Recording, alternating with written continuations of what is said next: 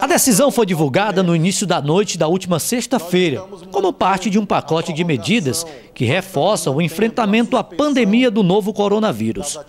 O novo decreto determina que, a princípio, as aulas nas escolas das redes públicas estadual e municipais e privadas de educação básica, assim como nas instituições de ensino superior, pública e privadas, continuem suspensas até o dia 26 de abril.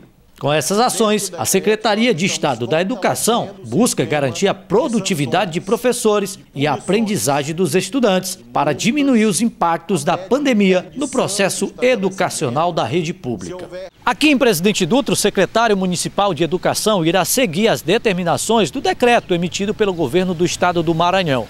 De acordo com informações do secretário, as férias do mês de julho foram antecipadas para o dia 1 de abril até o dia 15.